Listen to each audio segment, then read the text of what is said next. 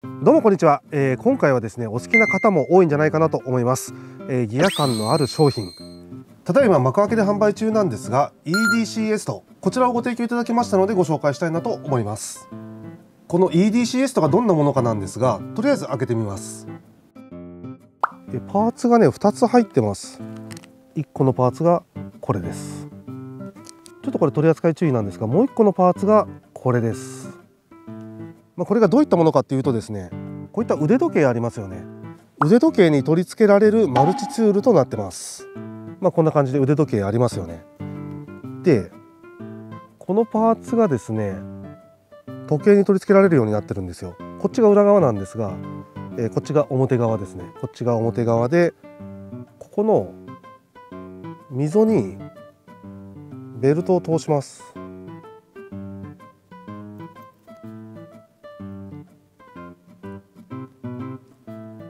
ベルトを通してまあ普通に時計をはめますよね。普通に時計はめました。そしたらここにこのねパーツをこうちょっと差し込んでこの状態でパチッと止めると、まあ、これかなり小さなものなんですが何かっていうとですねマグナカットステンレス鋼材を用いたミニナイフとなってます。まあほんとこれだけなんですが、まあ、取り付けただけでね結構ギア感が出てきますよね。で取り外す時はこっち側ですね。こっち側をちょっと持ち上げると外れるので取り外しも簡単と。で取り付けた時にですねこれちょっと外れそうじゃんって思いそうなんですがここでしっかり止まってるんで外れることはねありません。まあ、これを使うシチュエーションとしてなんですが、えー、例えば何かを切りたい時とかありますよね。ハサミがないカッターがないっていう時にここから取り外して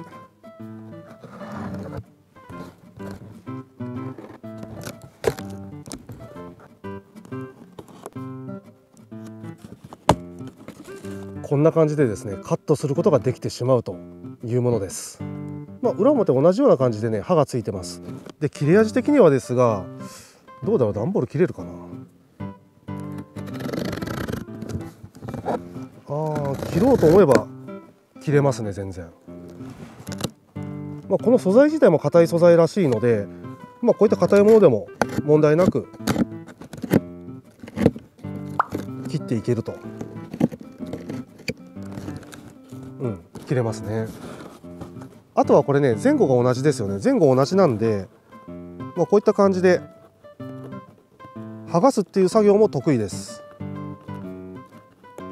ただやっぱね糊がつくんであんまりこういう使い方をお勧めしないかな、まあ、こういうこともできるよというぐらいで覚えていただければなと思います。あとまあ使い方としてはちっちゃいんでホッチキスの針を外したりとかですねそういったことに使うこともできると。まあ、ちょっとやってみてですね段ボールは切れるということが分かったんでちょっと違うもの切ってみましょう、えー、例えばねこういったビニール。こういったビニールいってみます。ビニールも普通に切り裂くことができます。結構ね鋭さがあると思うんで取り扱いはまあ注意なんですがまあ本当いざという時役立ちますよね。ビニールが破きたいとかハサミがないとかっていうことはね結構大いにありえるんで。で、えー、と次にこういった紙いってみましょうか。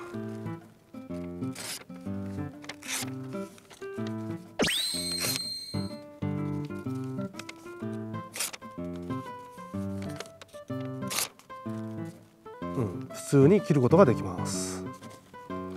まあ、基本的にこうやって時計のバンドに取り付けて普段は収納しておけばいいので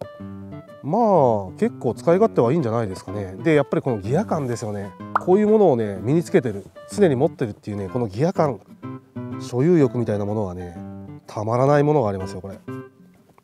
やっぱ男の子はねマルチツール好きですからね。であとねちょっとこれ映るかな。映ればいいんですがまあこういった感じでここが留め具ですよね。止めるところ。止めるところがあって、まあ、この端っこの刃があります。でここにも刃があります。でここの部分ここの部分分かりますかね。ちょっとギザギザになってるでしょこれはねただデザインとしてギザギザになってるわけじゃなくてこのギザギザがですね 1mm 間隔でついてます。なのでこれはですね最大で 12mm 測ることができるまあ、かなり小さなメジャーとしての役割も果たしてます。まあ、12mm のもの測ることないかもしんないけどでもいざという時にこういうものが役立ったりするんですよねきっと。無駄に何回もこれつけたり外したりしたくなるのがやっぱギアって感じっすよね。これですね今 G ショックにつけてますが、まあ、当然ですねここのベルトの幅によって、えー、つけられるつけられないが出てきますよね。でそういう時のためにですね、えー、サイズがねいくつか用意されてます。この時計のねベルトの幅に応じてですね 20mm、22mm、24mm、26mm と4つのサイズが用意されてるんで、まあ、このサイズにねベルトの幅が合えば、まあ、問題なくつけることができます。で、えーと、一応このベルトの厚みがですね 4mm まで装着可能ということで G-SHOCK のねちょっとこのベルトの厚みが分かんないんですがまあ大体装着できてもこれぐらいなのかなちょっとねあの、G-SHOCK とかだとまあ、この辺のねベルトの厚みっていうのは一緒なんですがこの辺がちょっと太くなってくるんですよね。太くなってくるので、まあ、ベルトのね一番端っこ端っこを見てね今回僕は 20mm をお願いしました。まあ一番いいのはこの辺についてるのがね一番ギアっぽくていいんですがまあちょっと G ショックだとそうはいかないんで、まあ、これでもですね備えあれば憂いなしみたいな感じで、えー、つけてるとねいざという時に役立つんじゃないでしょうか、まあ、これねベルトにはめたとしてもそんなにね違和感ないんですよ。これがあるから邪魔ってことも全然ないので、まあ、普段今まで通りに腕時計してたようにですね、えー、これを取り付けることができるんじゃないかなと思います。本当違和感はありません。さあということで今回はこのようにですね腕時計のベルトに取り付けることができるマルチツールをご紹介しました。つけてることに違和感もありませんし、えー、これをつけたからといって、えー、ベルトが巻きにくいとかそういったこともありません。まあ、こんな感じでですね腕時計のベルトに取り付けられるマルチツールっていうのは今までありそうで多分なかったと思うんですよね、えー、取り外しも簡単だし取り付けも簡単。でなおかついざという時には役に立つというマルチツールなので気になる方は幕開けの方で販売しております。是非ですねそちらの方をチェックしてみてはいかがでしょうか。それでは。